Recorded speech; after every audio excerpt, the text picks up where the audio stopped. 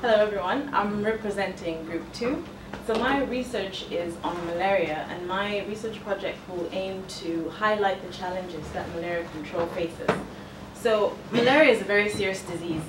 Uh, for example, in 2015, it killed over 400,000 people, most of which were in Africa. So what do we know about malaria? We know malaria is caused by a parasite, which is a tiny organism, and this parasite is called Plasmodium. Parasite is carried by blood-sucking mosquitoes, and we as humans get it when these mosquitoes bite us and feed on our blood.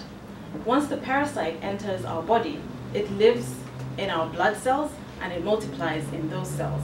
And we get sick when this parasite bursts out of our blood cells. Luckily, it's not all bad news. When a person gets sick, we have a test that is able to identify that they're sick. We also have drugs that we're able to give these people to make them better. So why is it that we haven't managed to completely get rid of malaria? One of the reasons is that some of these people, when they get the parasite, they do not get sick. Why is that? This can be explained by the way our body responds to an infection by malaria. How many of you love to read?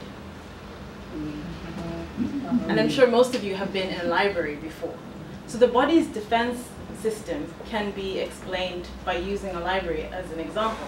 So the body's defense system is called the immune system, and it's basically, it can be compared to a collection of manuals that are used to control a disease. When a person is exposed to malaria for the first time, it can be explained as a new entry of a control manual in that library the more a person is exposed to malaria, the more the body becomes an expert in controlling this disease. In some people, this control is so strong that it uh, makes this person not get sick. It's also strong enough that it makes this person have parasite levels that are below the detection level of some of the current tests. Why is this a problem, a problem for malaria control? This is a problem because if people are not getting sick, even though they have malaria, they will not go to the clinic, and hence they will not get treated.